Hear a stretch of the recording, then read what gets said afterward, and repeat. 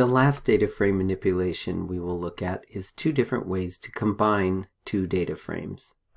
The first is to concatenate the data frames. This is something that we can do if we have two data frames that have exactly the same column labels. In that case, we can stack one on top of each other to create a longer data frame. In our first example, we'll look at two data frames that provide some information about authors. We have assigned their Wikidata ID as their unique row label index. Because these two tables share the same columns and indexes, we can combine them by using concatenate. First, I'm going to create a completely newly named data frame called authors that will combine the two data frames and assign a new name to it. If I want, I can reassign the combined data frame to one of the original names, in which case I'm effectively adding the second one onto the first one. In the examples above, I assigned a row label index the Wikidata ID. However, if I don't do that, Pandas will assign an automatic numeric index to each row. That gets a little bit weird when I concatenate them. You'll see that each of the three tables that I've joined together starts over again with the same sequence of integers.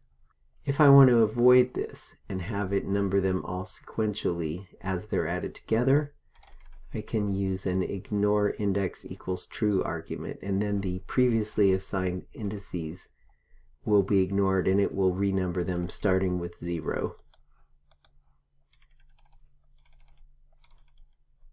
The other way that I can combine two tables is to do what is known as a join. This is when you join two tables side by side by matching up their row label indices. In this case, we use the on equals argument to indicate which of the columns in the two tables we will use to do the matching. Now, one of the issues with doing a join is what happens if the row label indices don't exactly match up. And there's two different approaches that we can take. One is what's known as an inner join. In the case of an inner join, if the rows don't match up with anything in the other table, they're dropped. So in this example, only rows 1 and 2 match, so they are the only ones found in the output table. An outer join includes all rows, whether they match with the other table or not. And in this case, if a particular row in one table is not found in the other table, then the columns in that other table are filled in with NAs. Let's imagine that we want to calculate the per capita energy consumption instead of the overall energy consumption. In that case, we're going to need to combine data about the state populations with the sector energy use data that we were playing around with before. Here's a table that includes the populations in the year 2020 along with the state names.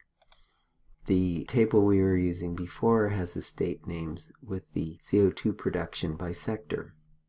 The state names in the first table are in a column called name with capital letters. In the second table, they're called state. So if I want to merge these two tables, I have to indicate what is the left and right tables column that I want to use for the join. So in the merge command, I specify the two tables and the columns to do the merging, and then finally whether I want to do an inner join or an outer join. So we'll start with an outer join. In this case, if I look carefully, I can see that Puerto Rico which is included in the population table, is not included in the energy use by sector table, so those columns got filled in with NANs.